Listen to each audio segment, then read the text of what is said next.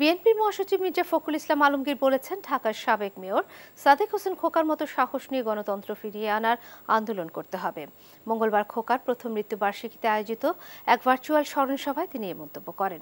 মুক্তিযুদ্ধের সমস্ত অর্জন এই সরকার ধ্বংস করে দিয়েছে জানিয়ে মির্জা ফখরুল বলেন, ভিন্ন মত পোষণ করার কারণে খোকার মতো মুক্তিযোদ্ধারা নির্যাতিত হয়েছেন। বিএনপির স্থায়ী কমিটির সদস্য ডক্টর খন্দকার মোশাররফ হোসেন বলেন, রাষ্ট্র আজ ধ্বংসের মুখে। গণতন্ত্র ফিরিয়ে আনার মাধ্যমে মুক্তিযোদ্ধাদের প্রতি শ্রদ্ধা নিবেদন সম্ভব বলে মন্তব্য করেন তিনি।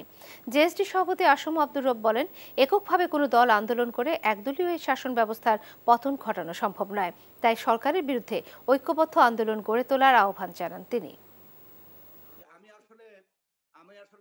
তার সাহস, তার ধৈর্য, তার দেশপ্রেম আমাদের প্রয়োজন ছিল আজকে।